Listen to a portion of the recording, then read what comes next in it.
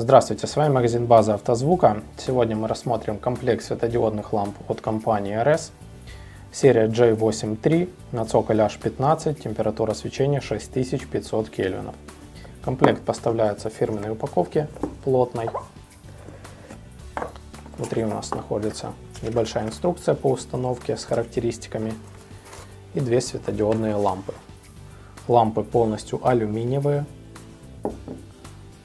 Помимо системы охлаждения пассивной радиатора есть еще активная, это кулер установлен. На каждой лампе используется по 8 светодиодов. А, светодиоды мощностью 40 Вт. Подключение идет э, на питание как 12, так и 24 вольта. Почему э, алюминиевая лампа? Для того, чтобы полностью все тепло, которое выдают светодиоды, распространялось по всей плоскости лампы, не давая лампе перегреваться. Вот. Э, сейчас мы подключим одну из ламп на питание и визуально посмотрим, как она будет светить. Подключаем питание. Лампа у нас загорается. Световой поток очень яркий, хочу сразу сказать. Заявлен 8000 люмен.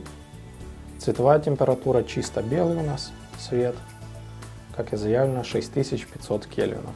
После установки таких ламп нужно корректировать фары и правильно выставлять светотеневую границу, потому как лампы очень-очень яркие.